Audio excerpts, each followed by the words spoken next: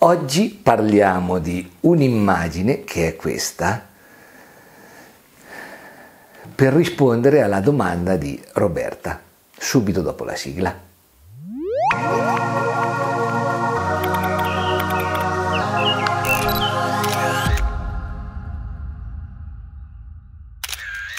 Ciao, sono Mauro Barbacci e sono un fotografo naturalista ed outdoor. Oggi rispondiamo alla prima domanda che mi è stata fatta eh, nel mio account Instagram. Trovi qui sotto in descrizione eh, il link ad Instagram e soprattutto trovi anche il link al mio podcast sia su Anchor che Spotify eh, dove ho già risposto alla domanda di Roberta e, questa, e ho parlato di questa foto. Allora, Roberta, che è la compagna del mio grandissimo amico, mi ha fatto una domanda molto bella, ossia qual è la foto che, che mi suscita più ricordi, più emozioni e più... ce l'ho sempre in mente, insomma, la più importante per me, ecco. E non ce n'è una sola, ma ce ne sono veramente tante, perché tutte le foto che faccio per me portano dietro un grosso ricordo, soprattutto quelle che faccio per me, eh, non quelle che faccio per lavoro. Eh, a volte lì faccio foto che non portano niente, però a parte quello, eh, mi sono perso, ma non c'è problema.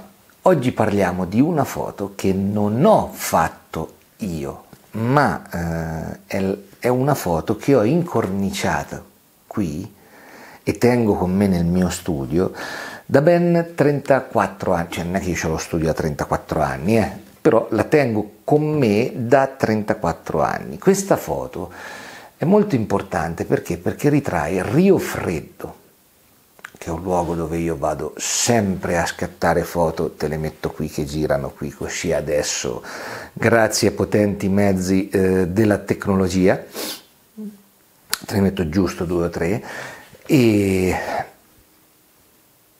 è un luogo dove io vado da bambino. E quando eh, ho visto questa foto, mh, mm, io chiesi subito a mio padre di ehm, potermela regalare.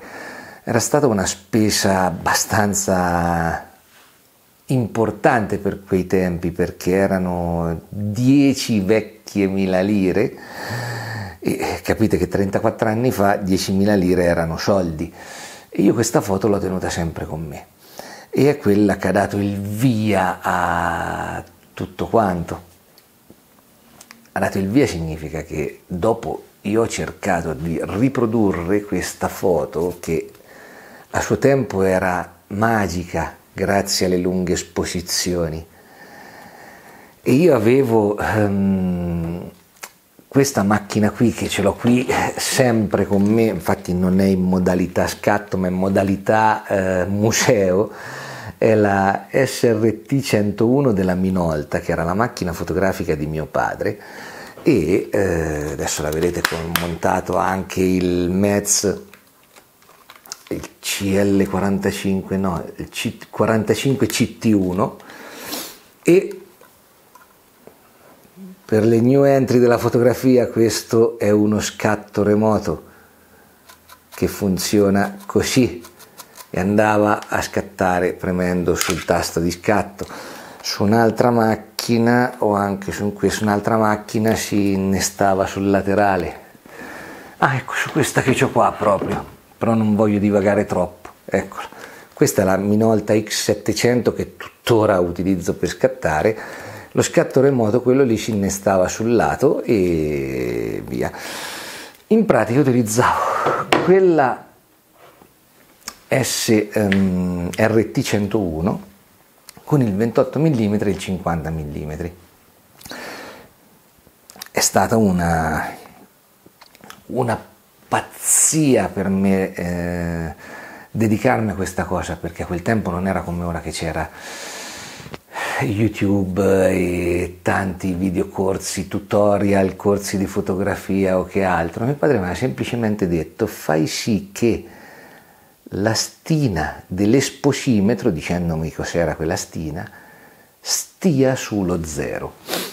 e io facevo così. Tant'è vero che il giorno che sono riuscito anch'io a fare una foto decente, non bella, era ehm, stata una situazione mista tra um, fortuna e cos'altro. Cioè, sì, più che altro fortuna e di sicuro non mia tecnica, cioè non è, non è, avvenuta per la mia tecnica, più che altro per fortuna. Mm, perché però? Eh, perché in pratica, essendo a fotografare in una gola, in un ambiente stretto, mh, mm, ero lì in una giornata con poca luce, quindi per tenere la stina, ecco, cioè non è stata bravura, sia chiaro, più fortuna che bravura, io per tenere la stina eh, dell'esposimetro sullo zero avevo dovuto allungare i tempi di scatto. ISO non ne parliamo, cioè c'era il rullino da 100 asa dentro delle diapositive, quindi non è che... E, e era venuta questa immagine con i tempi lunghi dell'acqua in movimento.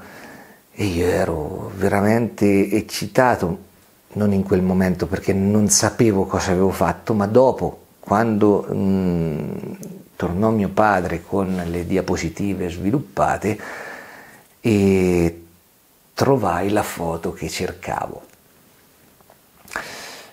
Sulla base di questo ricordo ancora io fondamentalmente scatto molto così, ossia eh, non vado a fotografare quello che trovo, ma cerco quello che voglio fotografare. Eh, questo è molto importante e questo ti permette soprattutto di, di far sì che ogni fotografia abbia un'esperienza dietro. Logico, se trovo qualcosa di interessante lo fotografo, però eh, spesso parto per fotografare quello che, che voglio io, quello che cerco, che voglio fotografare. Questo ti permette di, di salire di un gradino se vuoi affrontare la fotografia naturalistica, anche perché ti permette di studiare prima quello che andrai a fotografare. Esperienze di vita in pratica non c'è solo questa foto importante per me, anzi, se vai a vedere questo video qui sopra, che ti linko qui sopra, eh, ti anticipo eh, foto- alcune fotografie di un viaggio a Cuba, eh, che è stato un viaggio per me molto importante, delle quali ti parlerò in un altro video, però adesso voglio un attimino andare avanti su eh, questa situazione. Um, trovi quindi il video dove vedi in fondo, alla fine del video ci sono le foto e all'inizio vedi come ho prodotto quelle immagini. Questa foto e cercare questa tecnica um, mi ha portato negli anni a fotografare sempre in maniera consapevole e non di fare la io la definisco un po' una caccia alle mode fotografiche. Mm, ci sono particolari tipi di post produzione, scatti multipli, tutto quanto, tutto bellissimo, sia chiaro, non sto criticando chi fa queste cose, sia chiaro, ognuno fa ciò che vuole, perché, anche perché eh, ci vuole tempo ed edizione per produrre quegli scatti e anche tante competenze. Però a me piace eh, portare a casa lo scatto singolo, non lo scatto già pronto. Quando, quando sento lo scatto pronto, finito, eh, sento, un, sento tanta fuffa, mm, perché uno porta a casa lo scatto che vuole, però comunque eh, chi dice che la post produzione non serve forse è meglio che ragioni su quello che ha detto. E qui andiamo su dati oggettivi non soggettivi perché comunque una macchina fotografica produce un file. E quel file per, per essere prodotta al meglio bisogna, ma non voglio, non voglio, andare a parlare di tecnica fotografica, ci sono altri luoghi dove parlare di tecnica fotografica, però io voglio portare a casa lo scatto che voglio io. Voglio portare a casa, quindi non lo scatto che vuole chi osserva, anzi io voglio far sì che con lo scatto che produco riesco a trasmettere le emozioni come eh, provo io in quel momento. Mm, adesso ho iniziato anche con il mio podcast, ti ripeto trovi il link qui sotto, mm, dove una puntata delle due settimanali eh, viene registrata interamente mentre scatto. L'ultima puntata eh, l'ho registrata mentre scattavo fotografia notturna e tanto per farti capire le emozioni che provavo in quel momento, ho registrato più di 30 minuti di episodio del podcast senza eh, accorgermene. Ero lì che parlavo e dicevo quello che vedevo eh, e, e, praticamente mi ha fregato l'emozione, mi ha giocato e è venuta una puntata lunghissima. Non voglio che anche questa puntata diventi lunghissima. Quindi, cara Roby, ci sono tante foto che che porto con me eh, nei miei ricordi e che loro portano miei grandi ricordi con loro. Questa non l'ho fatta io, te la faccio rivedere. Questa non è opera mia, però è molto ma molto importante per me, questa qui.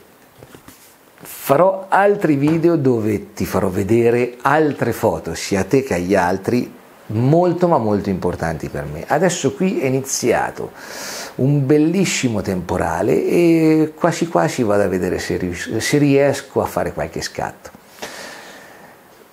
Ti invito ad iscriverti al canale, a mettere like se il video ti è piaciuto e a mm, mettere la campanellina drin drin drin drin drin così vieni notificato quando carico un video, ma soprattutto ti invito a seguirmi perché ci saranno altri bellissimi video. Ciao e buona giornata, grazie per essere stato con me e grazie Roberta per la domanda. Ah, eh, a breve esce il video dove rispondo ad Alessio che mi ha fatto una domanda su una foto specifica e quindi ci avrete foto e risposta alla domanda. Bene, ciao!